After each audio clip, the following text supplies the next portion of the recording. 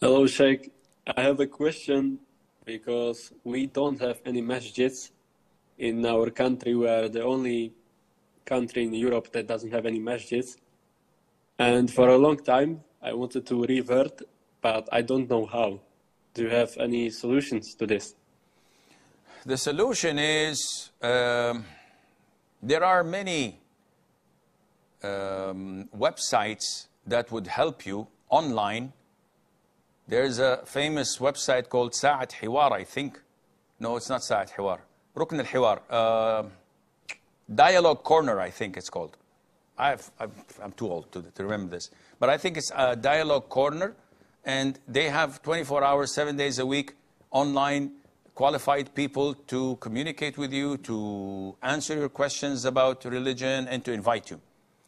The second way of doing it is to see which country is closest to you and to communicate with them, the Islamic Center, to teach you and to go with you step by step so that you can embrace Islam. Embracing Islam is very easy. What's difficult is to follow through. So to embrace Islam, all what you have to do is say, أشهد أن لا إله إلا الله وأشهد أن محمدا عبده ورسوله.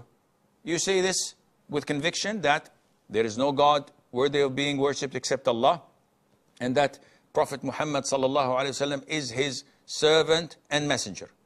You say this with conviction in your heart, boom, you're a Muslim. That's it.